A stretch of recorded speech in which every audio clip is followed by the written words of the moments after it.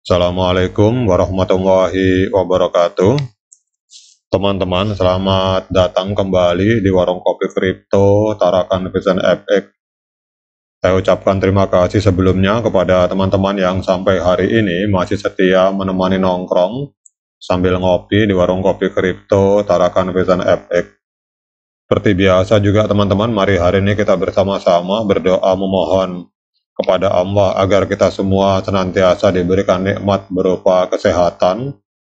Dan bila ada di antara kita sahabat kita maupun keluarga kita mungkin hari ini ada yang kondisinya sedang sakit atau sedang kurang sehat mari kita doakan semoga Allah segera memberikan kesembuhan teman-teman.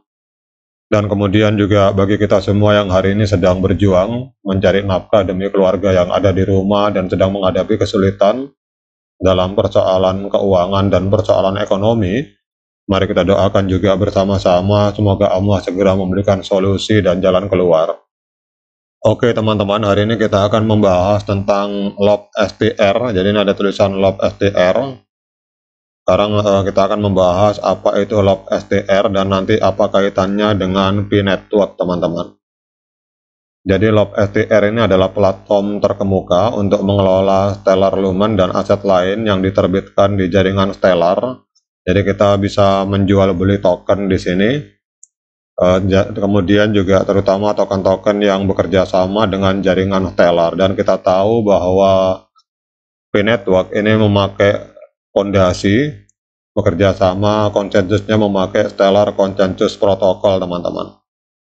Jadi Stellar dengan Stellar ini, ini uh, Lob STR ini, aplikasi Lob STR ini, ini menguasai 80 negara teman-teman. Jadi sudah ada di 80 negara dan kemudian kita bisa melakukan transaksi de, uh, dengan koin, bisa jual beli koin melalui Lob STR ini dengan memakai kartu Visa atau memakai kartu-kartu kredit lain teman-teman.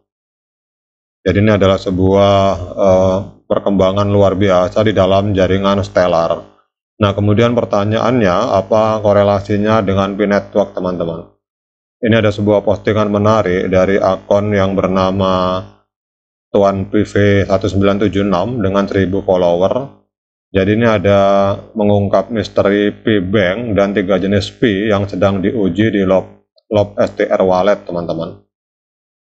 Jadi dalam dunia cryptocurrency, LOB STR Wallet ini menjadi sorotan terkini karena sedang diuji dengan tiga jenis Bitcoin serta serangkaian mata uang kripto lainnya yang telah terintegrasi.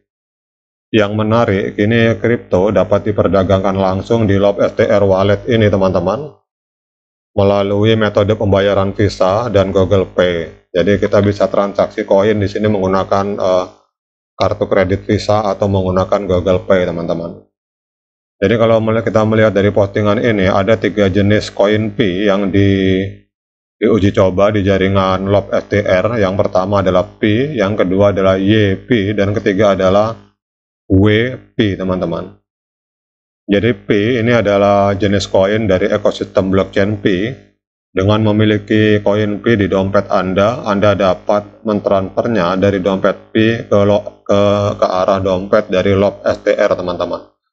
Jadi cara ini mirip dengan trader yang mentransfer koin dari cold wallet ke hot wallet di bursa kripto. Kemudian yang kedua ini YP teman-teman. Jadi YP merupakan jenis P yang Stellar pinjamkan dari pengguna dan tercatat di LOB STR wallet. Proses ini serupa dengan uang yang Anda pinjamkan kepada bank dan dicatat sebagai aset Anda. Kemudian yang ketiga adalah WP. Jadi WP ini adalah uh, P yang beroperasi dengan smart contract, teman-teman. Jadi WP adalah jenis P yang beroperasi dengan smart contract atau kontrak pintar, mirip dengan WETH atau W Ethereum. Jadi WP membantu menghubungkan smart contract lainnya. Menurut beberapa ahli teknologi, WP dapat ditukar dengan US dollar kapan saja sebagaimana halnya dengan uh, W Ethereum, teman-teman. Jadi beberapa informasi terbaru ini menunjukkan bahwa P-Network akan memiliki P-Bank, teman-teman. Dengan dikombinasikan fakta bahwa P-Coin testing ini sedang dilakukan oleh core team Dan kita tahu bahwa dari postingan ini bahwa Core Team sedang menguji tiga jenis Pi dengan fitur yang telah dijelaskan.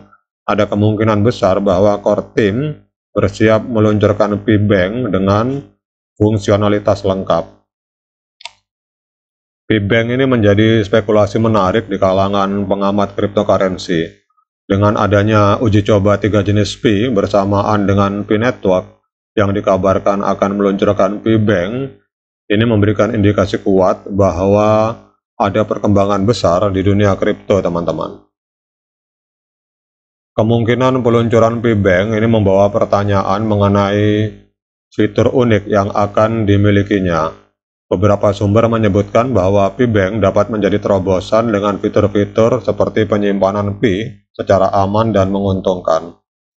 Jadi P-Bank ini diharapkan akan e, memberikan cara penyimpanan P yang aman dan menguntungkan dengan integrasi yang yang lebih dalam e, yang lebih dalam dengan ekosistem P network pengguna diantisipasi dapat menyimpan P mereka dengan keyakinan dan potensi pertumbuhan pertumbuhan nilai di masa depan.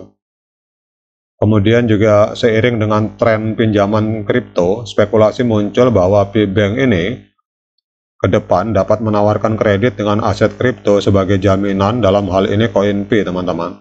Dan hal ini akan menjadi langkah inovatif dalam memanfaatkan nilai aset digital untuk mendapatkan keuntungan finansial tambahan.